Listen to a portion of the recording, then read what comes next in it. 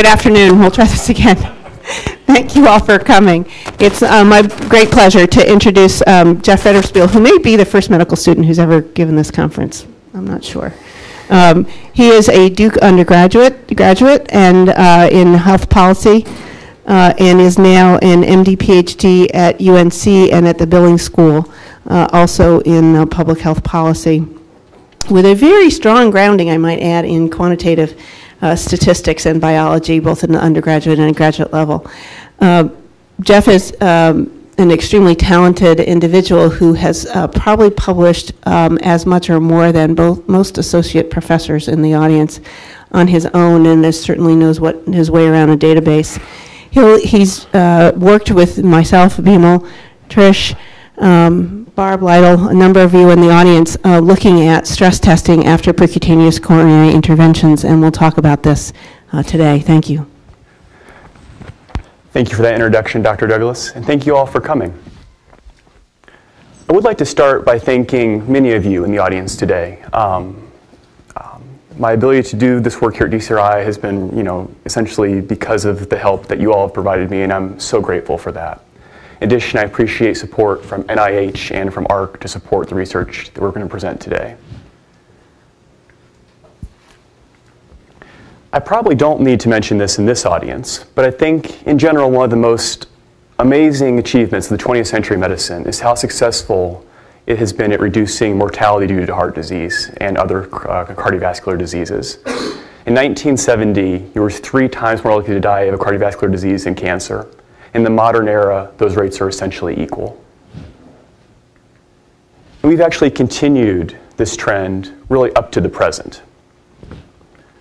The problem is, though, this costing more and more to deliver cardiovascular care. One of the big drivers of cost of care, at least recently, has been imaging. And I think it's certainly clear that we have made tremendous technological progress in what we can do non-invasively with cardiovascular imaging in the last 30 years. I mean, I mean just spectacular abilities to, to image the heart and other cardiovascular systems non-invasively. But that, that technological progress has come at a cost. In the first five years of the 21st century, Medicare spending on imaging doubled and about a third of all imaging expenditures are for cardiovascular imaging. So it's a, it's a major policy problem. What can we do about it? Well, an easy solution is just to cut reimbursement. Um, certainly lowers expenditures, but it's an ex exquisitely blunt policy tool. It doesn't really differentiate between good use of imaging and bad use of imaging, or imaging which might improve outcomes versus imaging which would not. An alternative approach is some sort of, of directed targeting of care. And we can think about doing this through sort of payer mandates, things like uh, RBMs, or as a professional uh, group through things like the appropriate use criteria or guidelines. But a limitation here, of course, is the quality of evidence we have available. I think in the most recent study, approximately 1% of all cardiac imaging guidelines are based on high quality evidence. Most of the rest is really just kind of expert consensus. Today I'm going to focus on stress testing, which I think probably everyone in the audience knows is a non-invasive way of detecting ischemia. This is one of the, of the most common forms of cardiovascular testing and one that's grown substantially in recent years. Um, essentially one of the things which has doubled over the last 15 years or so. In order to gain evidence on the appropriate use of stress testing, AHRQ um, funded a project, which was PI'd by Dr. Douglas, looking at the use of stress testing after percutaneous coronary intervention. And so far, we've produced uh, several papers, one looking at descriptive patterns and predictors of stress testing after PCI that Dan Mudrick, a former fellow, did. One that Bimal is chairing, looking at associations between facility-level stress testing rates and clinical outcomes. And a third, looking at a newer technology um, called uh, coronary computed tomography angiography. Um, for my dissertation work, I extended this DECIDE project looking at some additional questions about stress testing. And the first was looking at these sort of patterns and predictors and outcomes in the elective PCI population. So some gaps in knowledge kind of we felt about this topic were patterns of repeated stress testing after PCI. So there's been several studies looking at incidence of one stress test after PCI. But what about second and third stress tests? To what extent is stress testing governed by potential risk factors that might predict greater benefit from stress testing? And what is the impact of stress testing on clinical outcomes, particularly in a high risk population of patients? And all of these questions I think it's worth answering in clinically relevant subgroups, one of which might be elective PCI. So to do that, we took a population of patients receiving elective PCI, and we first answered the question, how often is stress testing used in this population?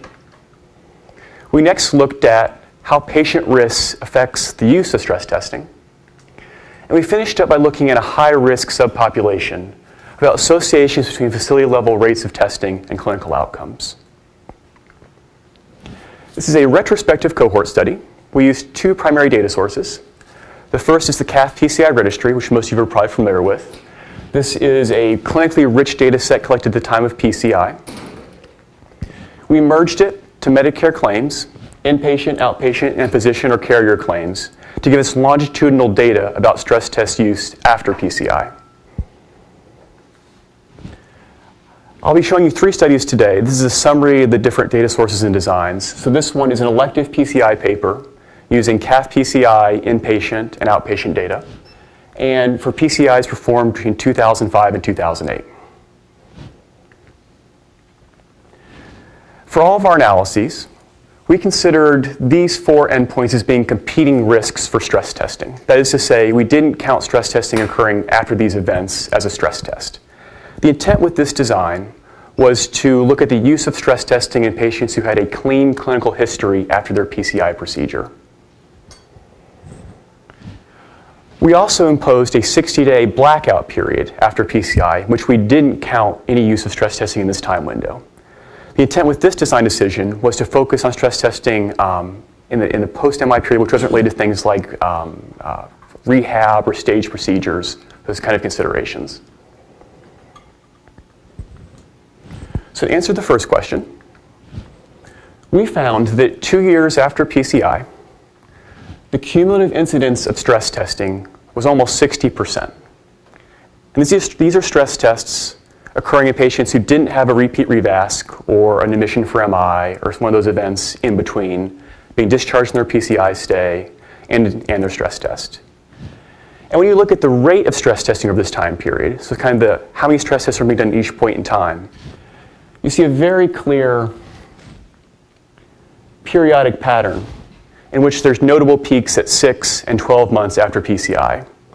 So we thought this is pretty indicative of stress testing being used for surveillance applications in asymptomatic patients.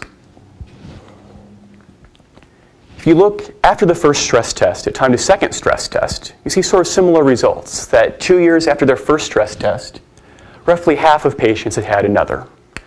And again, a very strong periodic signal in which essentially stress tests happen exactly one year after a first stress test. To look at patient risk, we looked at a number of patient characteristics.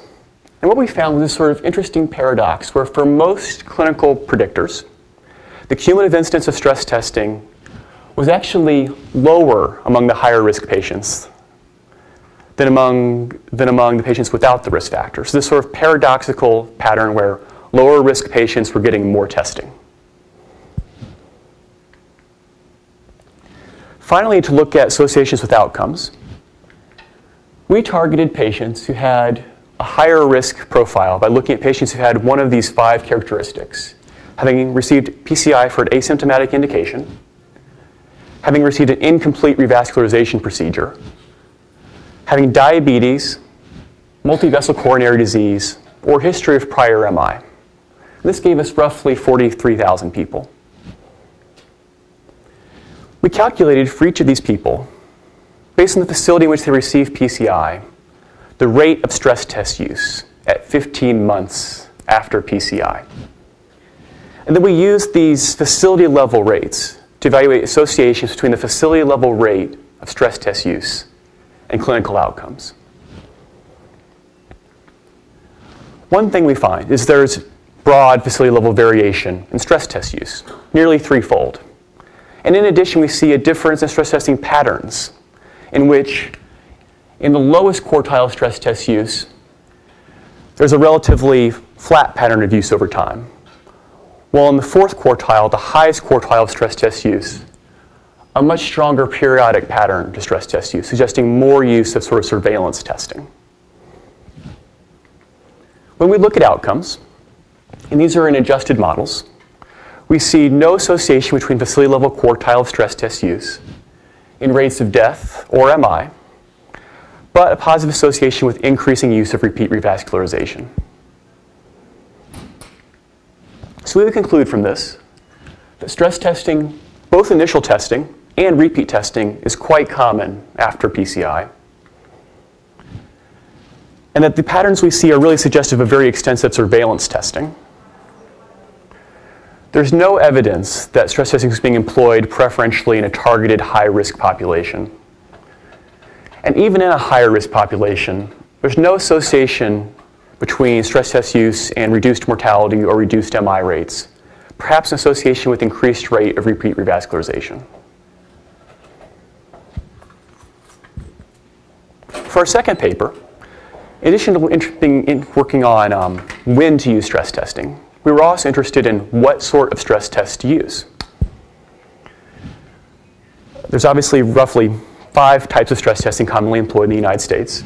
In this paper, we focused on two the comparison of exercise echocardiography versus exercise nuclear imaging, which, if you haven't seen them before, look like these. We showed in previous work that if you look using the NCDR at the use of these different modalities across the country, there's this very impressive large area variation in what type of imaging modality is used for exercise stress testing. Where we are here in the South Atlantic region, only 10% of stress tests are done with echo, whereas in the Pacific region, nearly a third are. So large variation in practice patterns regarding these two technologies. And we saw in unadjusted analyses that there were associations between choice of exercise imaging modality and short-term service use outcomes, things like whether they got more stress tests. Sorry, my pointer's a little flaky today. Um, whether they had catheterization procedures, and whether they had a subsequent repeat revascularization procedure. So the fact that we saw large variations in practice patterns, and at least in unadjusted analyses, differences in service use, motivated us to look at whether this actually matters, whether the choice of imaging modality matters for outcomes. Um, we focused on the comparison of echo and nuclear imaging largely because our findings that in preliminary analysis showed that pharmacologic patients were a very different population. They were much older and sicker. And at least in the post-PCI population, ECG only testing, imaging done with, or testing done without imaging, is really only done in the immediate post-PCI period, that the, the rate of it use drops off dramatically in the long term. So it's, it's clearly used for a different indication. So this comparison between echo and nuclear among people who are able to exercise was the cleanest comparison we were able to do. So our research question was, for patients who receive an exercise stress test with imaging, in this study we focused on a population who received PCI for an acute coronary syndrome indication.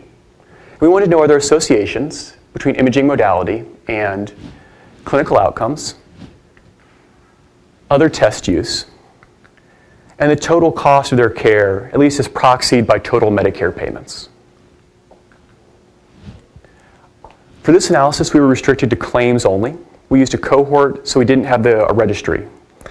We were limited to a patient population that received PCI for acute coronary syndrome between 2003 and 2004. We used a propensity score method called inverse probability weighting to adjust for potential confounding. We looked at outcomes using Cox regression models, except for Medicare payments, which we did using a partitioned IPW approach, uh, because you can't use Cox models for, for service use outcomes. We ended up with roughly 30,000 people. So again, to summarize for this study, we have claims but no registry. This is an ACS population treated in 2003 to 2004. Our propensity score model seemed to do a very good job of adjusting, at least for the, for the confounding factors we were able to adjust for. This is a plot of standardized differences. You can see the blue circles are before we adjusted and the red squares are after we adjusted. The dotted line is that 10% absolute standardized difference threshold that, that's been cited in the literature as being the appropriate measure of balance. And you can see that we're below that threshold for all of these, for all of these variables. If we look at the first 90 days, after adjustment, we see, and these are all comparing echo versus nuclear with hazard ratios, no association between choice of modality and rates of death or MI. But echo patients had lower rates of repeat revascularization and catheterization, but higher rates of repeat stress testing. After 90 days, no differences were significant. We looked at the total cost of care. After adjustment, um, the, there was a roughly $500 cost benefit associated with the use of echo versus nuclear imaging. This is almost entirely driven by the difference in reimbursement for the tests themselves, which was $491. And that within, after five months post PCI, the cost difference between the two, two technologies was no longer significant. So we concluded that compared to nuclear imaging, echo was associated with lower short-term rates of kind of invasive cardiac procedures, but higher use of stress testing in the short term, no difference in mortality or MI, and lower short-term costs, but really driven by differences in reimbursements for the tests themselves. My final study, um, I guess, wasn't exactly truth in advertising. It's not an imaging study. It's more of a method study, looking at different ways of using instrumental variables to do comparative effectiveness research. I think most of the work we do is focused on adjusting for confounders using our available data. And we kind of do this using one of two ways. We can either do standard regression models, where we try to break the association between an outcome and confounding factors in treatment by modeling outcome as a function of treatment and confounding factors. Or we can break it up here with a propensity score. Instrumental variables provide an alternative way of attempting to control for confounding. The idea being that if you can identify a factor which affects whether or not people receive treatment, but at least after adjusting for everything you can see in the data, it doesn't affect outcome through ways other than treatment, you can potentially produce unconfounded estimates of treatment effects, even if some of the things which affect treatment choice are unobserved in your data set, even if you do have kind of unmeasured or unmeasured confounding factors.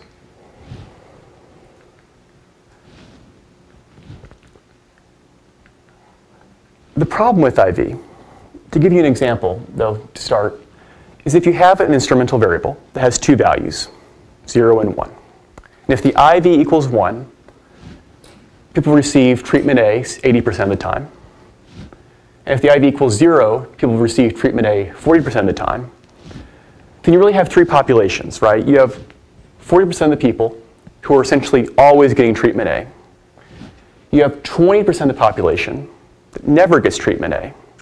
And you have this middle 40%, this marginal 40% that gets treatment A if the IV equals 1 and doesn't get treatment A if the IV equals 0. That's the so-called marginal 40, the marginal population, which in this case is 40%.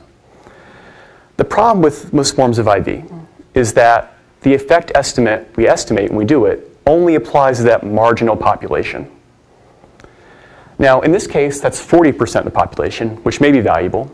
But actually, a lot of times in empirical applications, this may be 4% of the population. So you end up with this problem that you sort of, you've changed what's called the estimand. You've changed what you're estimating from the whole average treatment effect across the whole population to this thing called the local average treatment effect, or the LATE, which only applies to this marginal population of people. The empirical example I'm going to use today is about drug-eluting coronary stents.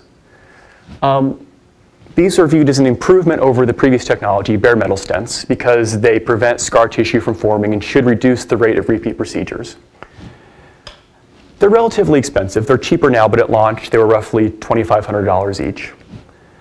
It's fair to say they were probably the most rapidly adopted cardiovascular technology ever.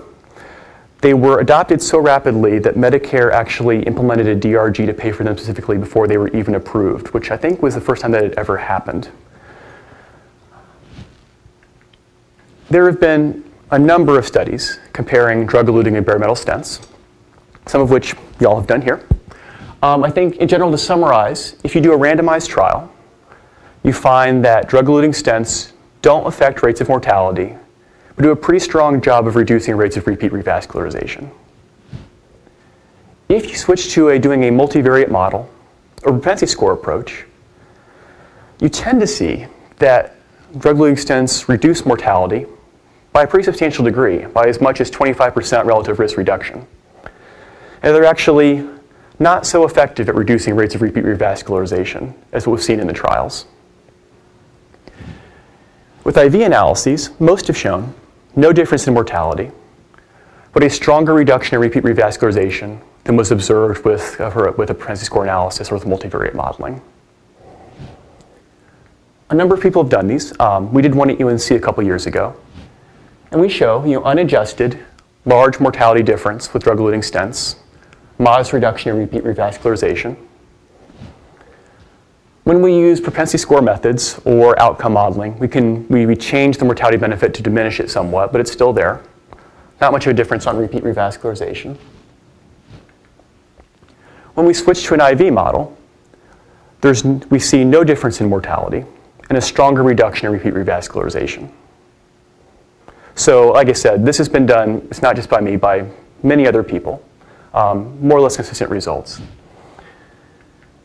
The problem is, though, that I told you earlier that these, this IV estimate is this thing called the late, right? It's only with these marginal people. And propensity score can estimate a number of different estimands, but at least when you're doing inverse probability weighting, it estimates the average treatment effect across the whole population.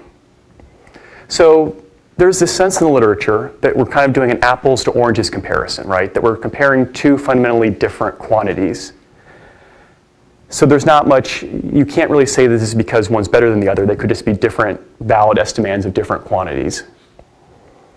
And it's not clear how to use the late in clinical practice because it's hard to identify these marginal populations in clinical, in clinical populations. Fortunately, um, economists have been working on this problem for a number of years and have come up with some clearer solutions on how we might address this. And essentially, we now understand a little better about um, how to address this problem using, uh, using statistical tools. So what we know is if essentially there's a three-question process that has to be worked out. The first is, is there heterogeneity in treatment effect? Do we think the treatment works differently in some patients than others? If not, then the treatment effect in the marginal population is going to be exactly the same as the treatment effect in the whole population, right? If it's the same quantity either way, it doesn't matter what population you estimate it in. So in that case, the average treatment effect will be the same as the local average treatment effect. And it doesn't matter really which method you use. Second, do patients and providers select treatment choices based on heterogeneity of treatment effect? So if treatments work better in some patients than others, but we have no idea who those patients are, it's as good as random, then again it doesn't matter because the population that's marginal, that marginal population, will have the same, will look the same as the overall population.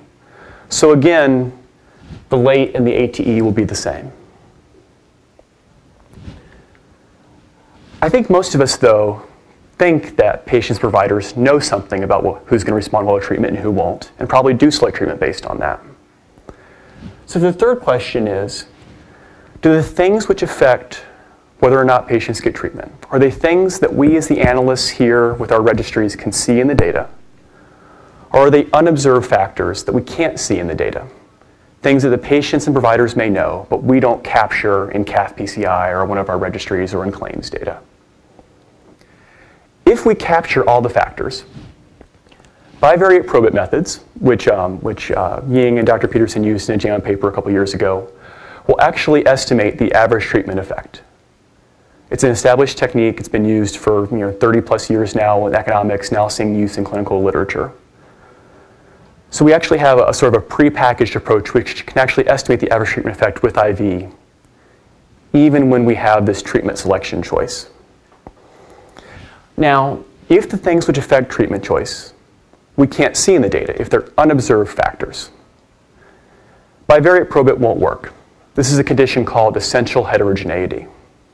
But an even newer technique, which is kind of still in development in the economic community, called local IV, can actually recover this average treatment effect, even when the factors which affect whether or not people get treatment are things which are unobserved in the data.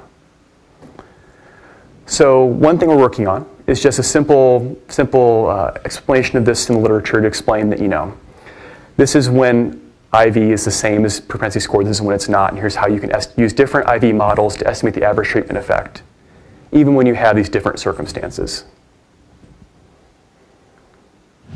What I want to do today is illustrate these new methods to estimate ATE on a comparison of drug-eluting and bare metal stents on four outcomes, all-cause mortality, MI, repeat revascularization, and bleeding-related readmission.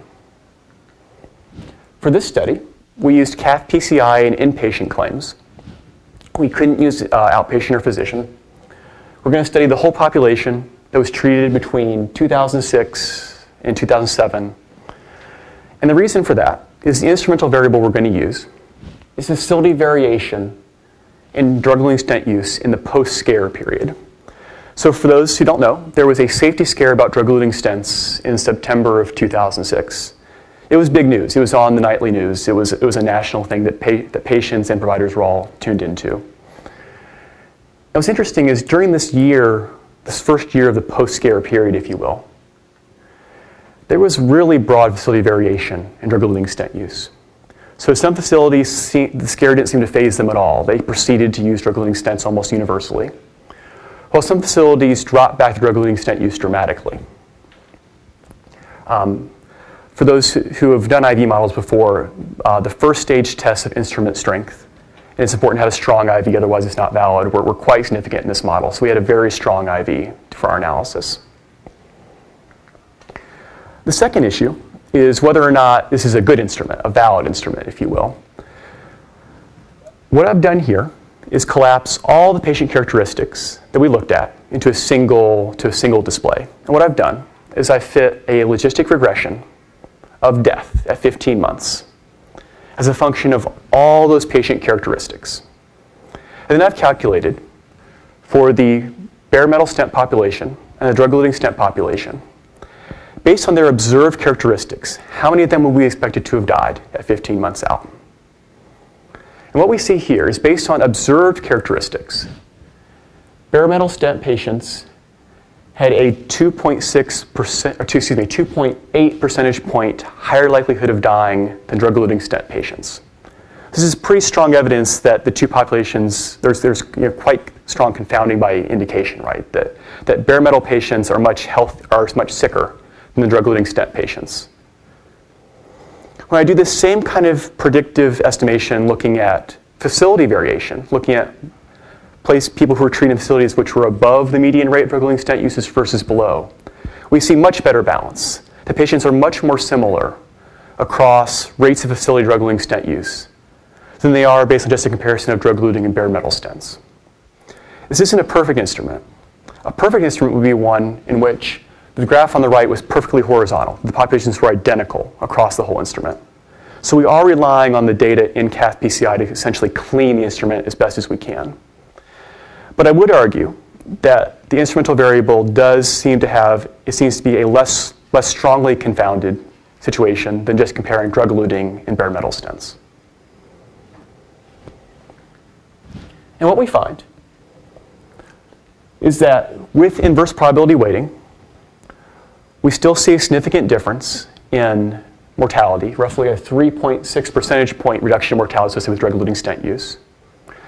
But when we use bivariate probit or local IV methods, that difference is eliminated. And the results are really quite similar between the two methodologies. The difference in repeat revascularization between, IV, between propensity score and IV was not statistically significant. That being said, I would say argue is a clinically significant difference between 2 percentage points and 4 percentage points on a base rate of 13.5%, in which the IV model would predict a greater reduction in repeat revascularization than just an IPW model would demonstrate. We actually do see reduction in MI readmission, both with propensity score or with IV. And we see no difference in bleeding readmission. So we concluded that drug-eluting stents are, in general, safe and effective in clinical practice, and that the differences in, the results of propensity score analysis and IV analyses for drug-eluting stent safety is not due to a difference between average treatment effects and local average treatment effects. It's due to a difference in, in other issues. And methodologically, um, one thing to point out is that bivariate probit is now available in SAS as a canned procedure. It's actually fairly straightforward to estimate now. The local IV methodology is still more in development. I have some R code if to experiment with it. Um, but at least with bivariate probit, we are in an area in which this is a tractable solution to the problem. More work, though, is needed to understand how we can use IV optimally. And by that I mean, um, most of you are probably familiar with the work of Peter Austin, who's done just a tremendous job explaining how we can do propensity score in sort of a standardized, high quality manner so that everyone knows what they should be looking for when they read a propensity score paper to know whether the covariates are balanced and that sort of thing and how covariates should be selected. We haven't done that for IV yet. It needs to be done. We need to have a standardized approach to how we do IV modeling, which enables reviewers to immediately identify a high quality or low quality IV paper and can review them efficiently and we can have confidence in the results. So to wrap things up, um, I think study one really shows that, that the AUCs, which say that doing surveillance stress testing on patients without symptoms, we find evidence to support that, and that probably is a reasonable way of reducing utilization in a way which shouldn't harm patients. For study two, I think we need to do more studies. So one issue is the potential for heterogeneity of treatment effect. So some patients may benefit more from echo and may be very amenable to the type of imaging that echo provides, where some patients may be more clearly need a nuclear test. We couldn't really get that with our analysis. There's also this issue um, that economists worry about a lot, about productivity spillovers. And the idea is this, it's that if, um, if Dr. Douglas, who is an echo expert, if we tell her that she has to do nuclear all day, um, she probably... So she, being an echo expert, probably delivers a better echo stress test than she does a, than a stress nuclear stress test. I think that's probably fair to say. And that patients benefit from her expertise in doing echo stress tests. So if we force her to do a nuclear stress test, patients may be harmed by essentially forcing people to work outside their specialty. And that the, the sort of global welfare implications of forcing all echo or all nuclear aren't exactly clear. I say study three, um, I would conclude that drug-eluting stents are effective in reducing repeat revascularization, but at least when you do an IV analysis, do not appear to reduce mortality.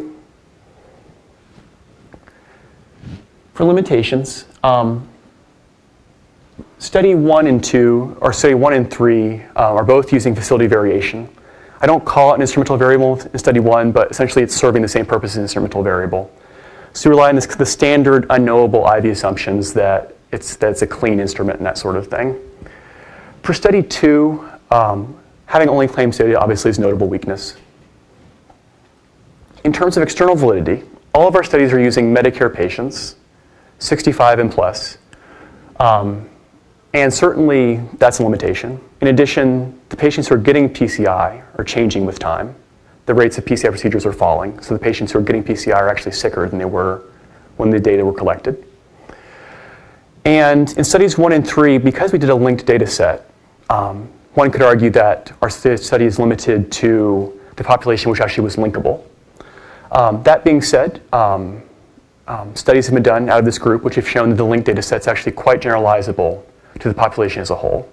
So I think we should have reasonable confidence, at least for Medicare patients over the age of 65, our results are actually fairly generalizable. For future work, I think um, Dr. Douglas is very excited because there's discussion about creating a stress test registry, which would enable us to get it um, sort of prospect do analyses in which we collect data at the time of stress test instead of the time of, of PCI, which obviously would enable collection of a much more uh, clinically nuanced data set about stress testing itself. For methodology, I think one exciting area of future research is how we can better get at sort of individual specific treatment effects. So we can, can we figure out for the diabetic 70-year-old patient with heart failure in front of you, what's the effect of a treatment on them as opposed to just on the average person? There's work on this in the econ literature. It's not quite there yet. When we do bivariate probit, we make a very specific functional form assumption about the correlation in the two parts of the bivariate equation called joint normality. There are new methods being developed which will enable us to relax that and have a more flexible, less, less strong assumption there that we're working on. And like I said, I think in general, developing best practices for IV is a really, is a really important and uh, uh, promising area of future research. So stop there and take your questions. I appreciate you, appreciate you coming.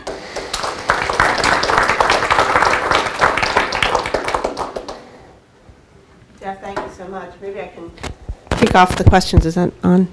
Uh, by asking you uh, something you didn't uh, mention too much, but was one of the most surprising pieces in the data was the use of stress testing in lower risk patients rather than high risk patients. And I know you can't see into the brains of the people that are ordering stress tests, but less stress testing in asymptomatic individuals at a PCI were asymptomatic. In those uh, who were not diabetic, less testing in diabetics and non-diabetics uh, post-MI than not. You might want to comment on that. It's a hard question for me to answer, um, partially because I just don't have the clinical context um, to know sort of what's happening on the ground on a day-to-day -day basis. Um,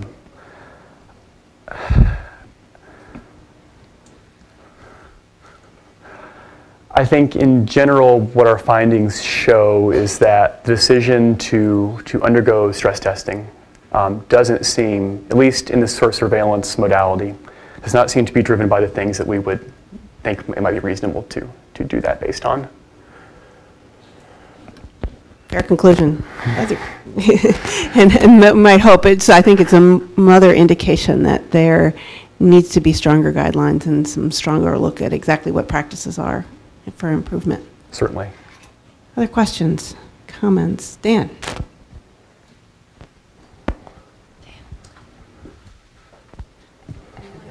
Thanks. That, that was a great presentation and uh, some very impressive methodological um, work. Uh, I wonder about the clinical question that Pam's raised. Uh, this has been a subject we've obviously spent a lot of time looking at over many years. Uh, back since, you know, at the Duke database, we had a set of studies that were done after the original PTCA balloon angioplasty work, and we've been sort of wrestling with it ever since. Um, and we don't seem to be, in a sense, getting anywhere, um, meaning that we see the same problems, if you want to call them problems, the same patterns, and maybe we're just barking up the wrong tree. I mean, the, the clinician who's seeing a patient who's had an, a procedure obviously wants to do something. I mean, unless you posit that these are all malfeasant type of people who are just trying to enrich themselves by doing completely useless and unnecessary procedures. uh, I think you missed the psychology of the situation, which is that the, that the doctors are being expected, the patient's expecting something with this checkup.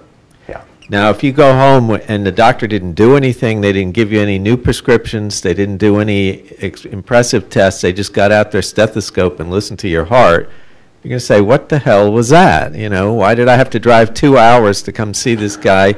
Yeah. You know, that that's bull. So obviously you do the stress test and it's maybe a little bit of uh, Wizard of Oz stuff, but that's like, you know, you had to, maybe you had to sweat a little bit, you were worried for a while, and then you, they came and they patted you on the back and they said, you know, I've got some good news, everything looks fine, and you've, you've had a much more enriching experience. Enriching experience. Thank you.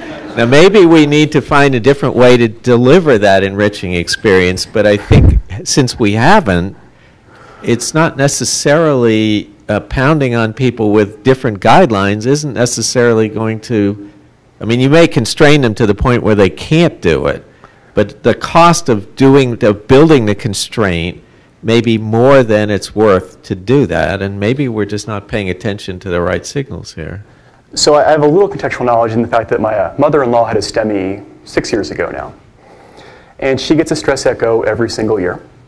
And she gets it because they're going to find the MI before it happens next time and get it before it causes a heart attack. And there is nothing I can do to convince her of that, of otherwise, right? Even though, I mean, I'm, I'm just a med student, but I'm pretty sure I'm on solid ground saying that's not the case, right? So I think to, to some degree, You're trying to undermine your grandmother's confidence in her doctor. I know, right? So, so on one hand, I, I, I, I agree that it provides reassurance. She is reassured by it. On the other hand, our findings, and, other, and you know, certainly ours aren't unique, show that patients are getting more procedures when you do this. So we are actually causing things to be done to them. Some of them will have complications. Um, so the, the, the net welfare effect of stress testing isn't actually that clear. Yes, there's this positive reassurance effect. But if we cause people to undergo things they don't need to undergo, that's a net. That's, or that's a negative. So what the net is, I'm not exactly clear. Need to ask your grandmother. That's right. Well, she hasn't, she hasn't had a positive test yet. That's good. Right. Just, um, just listening to this, it, it seems to me there should be compelling data to justify doing some of these tests. I see this when I do clinics sometimes. In fact, there was one yesterday where someone was recommended by another uh, cardiologist a ways away, but uh, to, who she's thinking of having a knee operation, and, and she's had several uh, negative stress nuclears and a minor disease in the past, very minor, in one vessel. And um, it just seems, I mean, you can reassure a patient if you are comfortable and knowledgeable in what the current information and data shows. There may be equipoise. I mean, it just seems to me reassurance can be provided and should be provided through the uh, healthcare provider, an honest encounter with the patient with the best data available. And it, to do tests, unless there's a good reason to do it, it just seems to me that that's not appropriate way to practice. I think your point's well taken. You know, One of the, the, that's one of the reasons I highlighted that, that sort of discrepancy about the higher risk people. I mean, why is it more important to reassure a non-diabetic than a diabetic? Or why is it more important to, or less important to do surveillance testing on somebody who had a PCI but was asymptomatic before that, had silent ischemia, than somebody who had ischemia who you knew, who had angina, who you know has a symptom that's going to give you a warning. Um, because it sort of all falls apart when you look at that data. It's not logical anymore.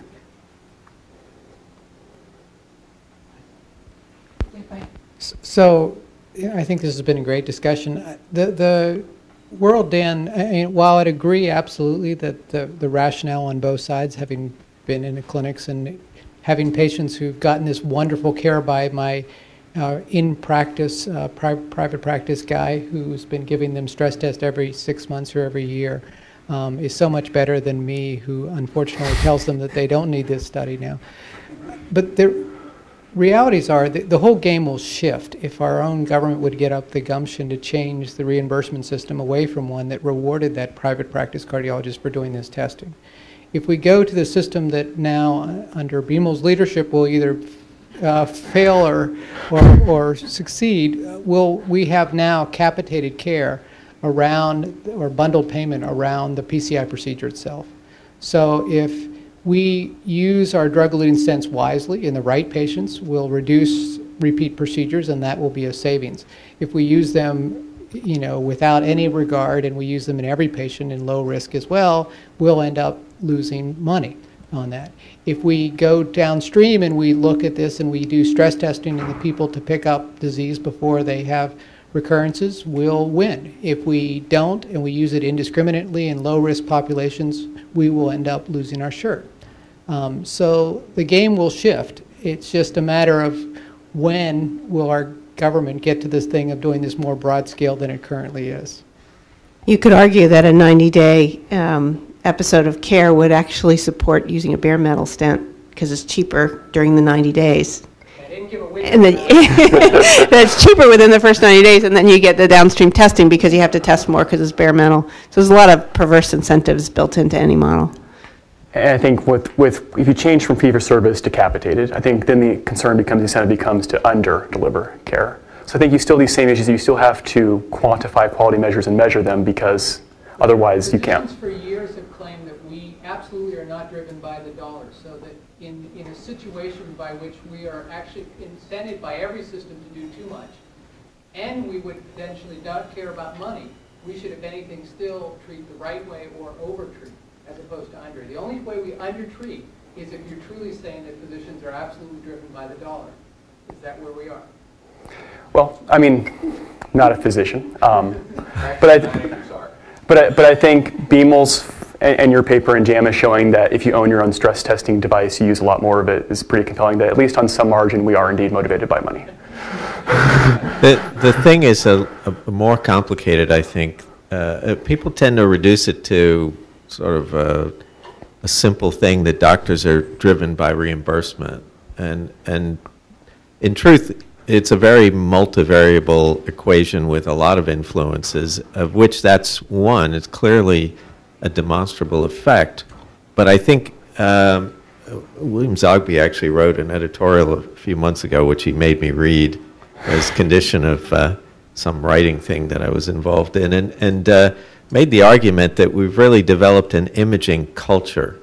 And in a sense, that we've built what used to be, some people call defensive medicine, others may call this reassurance practice that, you know, also puts a few dollars in my pocket, um, is now so deeply ingrained to, into our thinking in most of the cases that we can't envision delivering good care without it. Now, it varies as to exactly what that cultural view looks like in different settings but but I think it's it's a much more complicated problem. And as you say, the trying to use the reimbursement system to manipulate that cultural set of beliefs is not an easy task. In fact, nobody's managed to do it well in the last 50 years. So uh, we should be a little bit cautious about expecting it to happen in the future. But I wanted to actually ask you a different question, which was about the local instrumental variables. Yeah. And your claim that you could actually uh, account for an unobserved, unmeasured confounder using mathematics. And I'm just curious if you can explain how that's possible to do. Yeah. So you do it, in short, by imposing a tremendously strong parametric assumption about the correlation between measured and unmeasured. So this goes back, are you familiar with, with uh, Heckman's selection models and that sort of thing? So, so Jim Heckman, who um, is an economist at Chicago, essentially has built these models where if you make very specific functional form assumptions about um, how the measured and unmeasured confounding is related, the distribution of unmeasured confounding in the population, then you can indeed identify the effect. I'm happy to send you a paper if you want to see kind of how that derivation works. But um, the downside, of course, is that you have to make these heavy assumptions, right, about the functional form and that sort of thing. Um, in this case, it didn't matter because we didn't seem to, we didn't find any evidence of this unmeasured selection. We did the, the test that Heckman prescribes. Um, but I certainly agree, um, having done some local IV, that we need much more work to identify how well this technique works in real, real empirical data. Well, and how often those, that strong assumption is actually likely to be true. Exactly. And it works great in Monte Carlo studies because you, simulate, you make the data look like these, the model, right? but how it actually works in, empir- in real empirical data, that's an intense area for future research. But that being said, you know, it only came out 10 years ago. And I think bivariate probit came out in the 70s, and we're just now seeing it in the clinical literature. So we're still, we're still 20 years away from that being routine use in, in clinical literature. So. Wonderful. Thank you. For a very great discussion and a wonderful talk, Jeff.